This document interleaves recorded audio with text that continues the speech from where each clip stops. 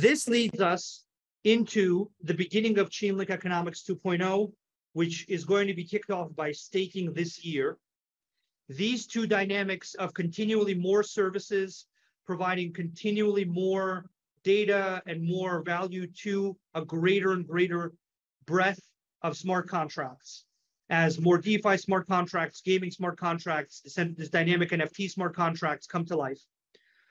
All of these additional contracts and all of these additional services continually generate more revenue, while at the same time having the costs go down.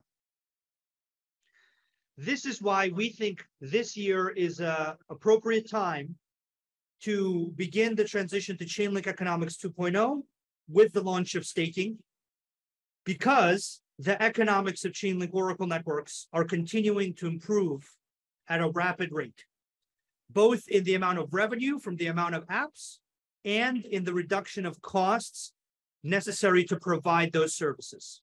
Which essentially means that a greater share of revenue will flow to node operators and the stakers that provide stake for the crypto economic security guarantees, um, that will continue to improve the security of the system, as well as the eventual loss protection guarantees of the system.